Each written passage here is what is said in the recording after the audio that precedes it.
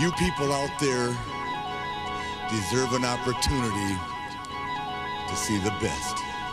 So obviously, let's put two and two together. Woo! That I gotta be the best of all. That just cut and dried.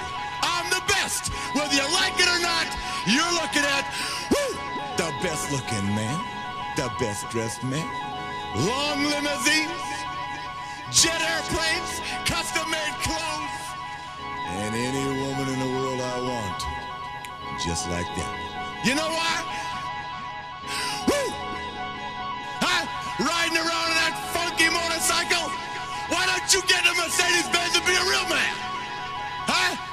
I don't care where you are in life. Let's face it, you're second best no matter what you tell yourself. So gear up, ladies and gentlemen.